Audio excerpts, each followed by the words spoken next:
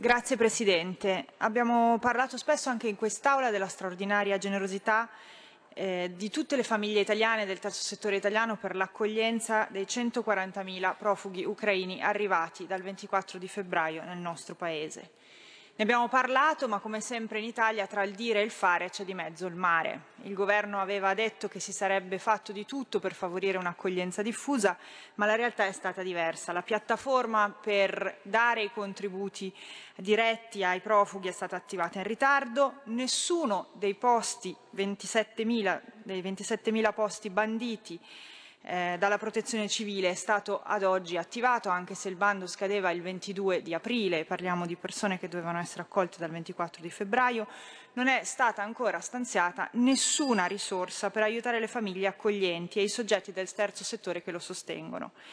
Abbiamo imparato dall'esperienza che se si vuole l'accoglienza, se si vuole l'integrazione servono risorse, serve un accompagnamento. La domanda è molto semplice. Cosa intende fare il Governo per mantenere la parola data sulla qualità dell'accoglienza dei profughi ucraini? Grazie. Grazie a lei. La Ministra dell'Interno Luciana Lamorgese ha facoltà di risponderle. Presidente, onorevoli deputati, gli onorevoli interroganti con riferimento all'accoglienza dei profughi ucraini giunti in Italia chiedono iniziative urgenti per accelerare i procedimenti e snellire gli adempimenti burocratici che ne rallentano l'accoglienza.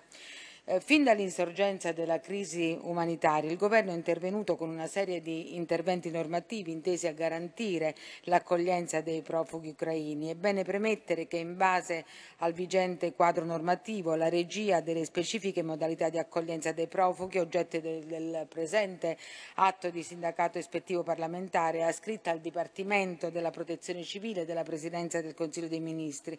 Per chiarire meglio i termini della questione è opportuno ricordare che il sistema sistema di accoglienza del, delineato dal Governo si articola in tre grandi filoni. Il primo è rappresentato dall'autonoma sistemazione dei profughi presso eh, la propria comunità in Italia.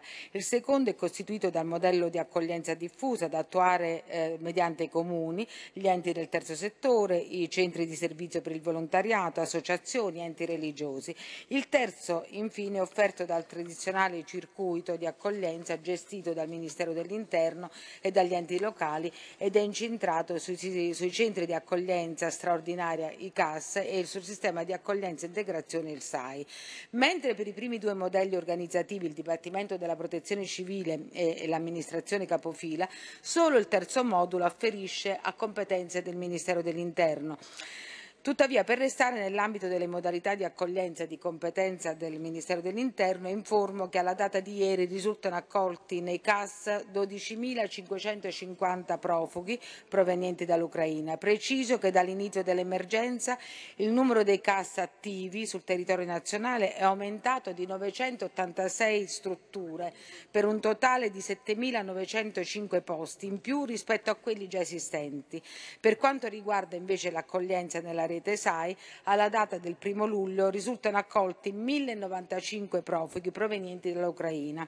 Anche per questo tipo di sistemazione è stata aumentata la capacità di accoglienza attraverso il finanziamento e la realizzazione di 7.000 nuovi posti. Infine, il Dipartimento della Protezione Civile, che ho a tal riguardo sentito, ha comunicato che il lasso di tempo trascorso per le iniziative relative all'accoglienza è dovuto al coinvolgimento di notevoli soggetti soggetti istituzionali, nonché all'esigenza eh, di espletare, atteso che trattasi di cospicue risorse pubbliche, una, una pluralità di controlli preliminari.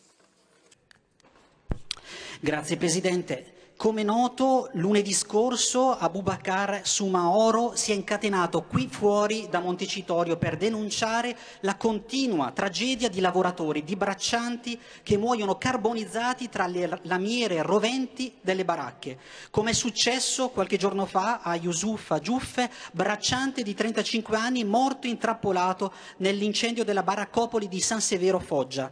Non è accettabile che nel 2022 in un paese come l'Italia si verifichi una così impressionante negazione dei diritti umani che venga palesemente calpestata la dignità umana.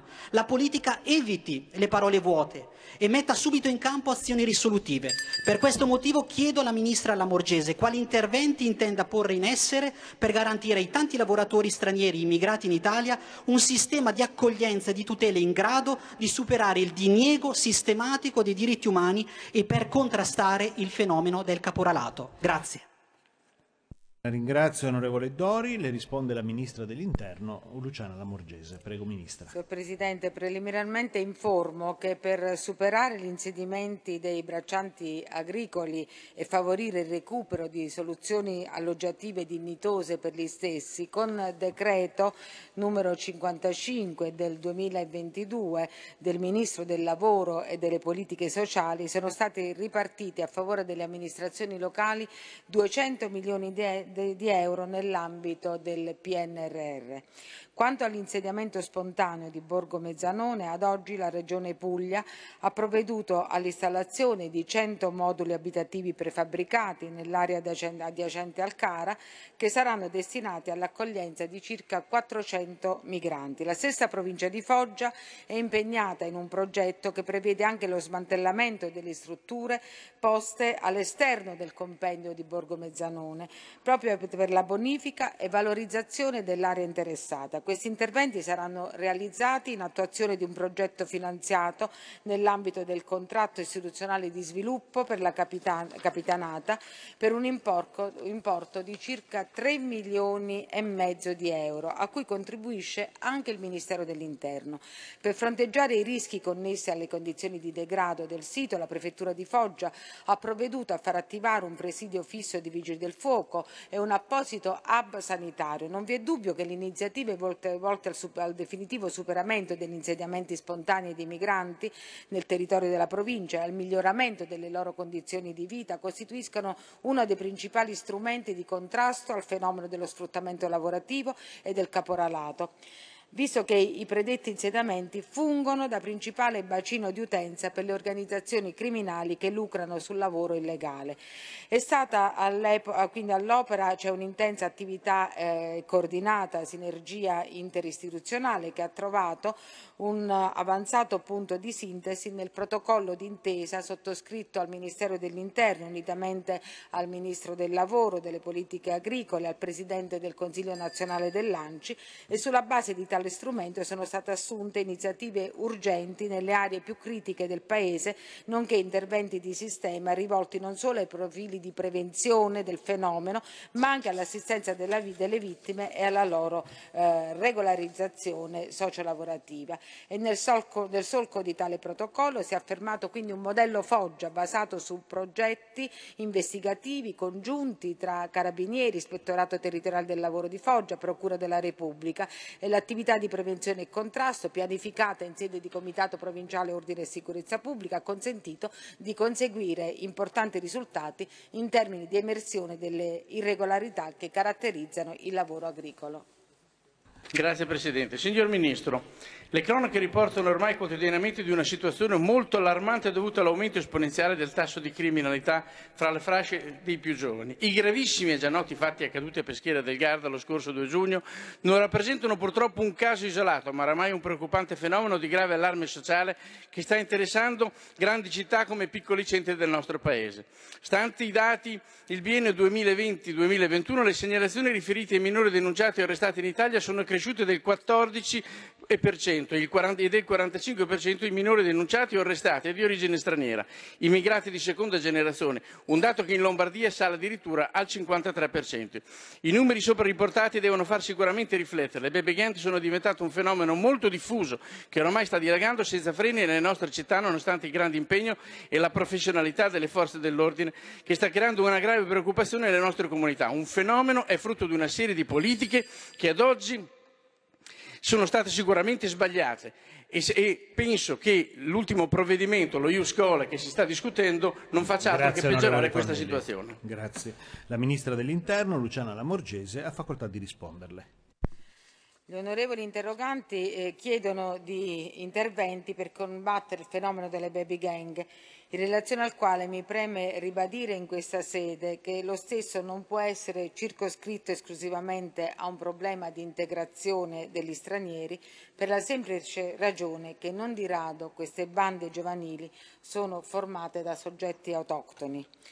Vorrei in primo luogo sottolineare che tale fenomeno rientra nella più ampia casistica della devianza giovanile, come quest'ultima è un problema complesso, comune a tante società avanzate e avente molteplici cause che vanno dal contesto familiare alla dispersione scolastica e finanche all'uso non appropriato delle tecnologie informatiche. Per tali ragioni dobbiamo essere consapevoli che la risposta delle istituzioni non può eh, limitarsi ad un intervento puramente repressivo, pure indispensabile, ma deve orientarsi anche verso la prevenzione con adeguate politiche di riduzione del disagio sociale e soprattutto attraverso la promozione di una cultura del rispetto e la contestuale affermazione dello sviluppo di rapporti costruttivi e positivi in tutti gli ambienti, ivi compresi quello virtuale, entro i quali oggigiorno si esplica mm, fortemente la personalità dei giovani. In questo senso il Ministero dell'Interno ha messo messo a punto un'apposita strategia basata non soltanto su appropriati dispositivi di controllo del territorio, ma anche su collaudate iniziative di carattere educativo e informativo.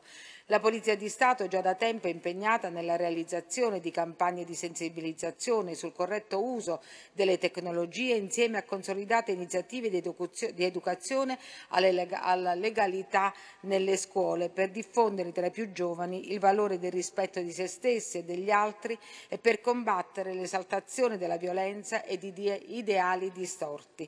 Inoltre sul territorio nazionale la rete delle prefetture ha attivato varie iniziative mirate al contrasto della dispersione scolastica e del disagio giovanile. Si tratta di azioni focalizzate sul miglioramento della capacità di ascolto, di interazione con i giovani e improntate ad una sinergica logica di rete. In conclusione assicuro che il Ministero dell'Interno continuerà a mantenere elevata l'attenzione sulle problematiche rappresentate dagli interroganti e non mancherà di adottare tempestivamente ogni efficace iniziativa per il contrasto del fenomeno in stretta collaborazione con i diversi eh, soggetti istituzionali competenti.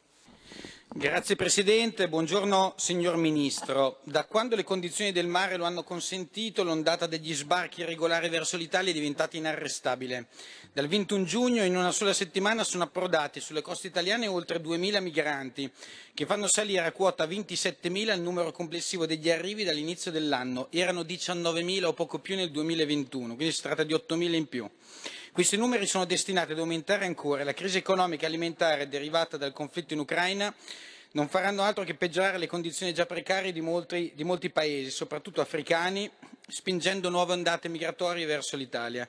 E oggi viviamo in un sistema altamente compromesso ma, per quello che riguarda la difesa dei confini, ma lei, Ministro, tace permette che nella nostra nazione imperversi un fenomeno fuori controllo che compromette la sicurezza pubblica e la stabilità politica e sociale della nazione. Allora noi ci chiediamo quali iniziative lei intende assumere sia a livello nazionale che europeo per intervenire concretamente e tempestivamente per bloccare questo fenomeno e difendere i nostri confini. Grazie. Grazie onorevole Vinci. La Ministra per l'interno dell'Interno Luciana Lamorgese le, eh, ha facoltà di risponderle. Prego Ministra. Eh, la scorsa settimana al Senato, in risposta ad analogo quesito posto dal medesimo gruppo parlamentare, ho avuto modo di soffermarmi sulle cause strutturali della crescita dei flussi, sugli sviluppi delle politiche migratorie a livello dell'Unione Europea, posto che dovrebbe essere ormai chiaro che nessun Paese da solo può gestire le migrazioni contemporanee.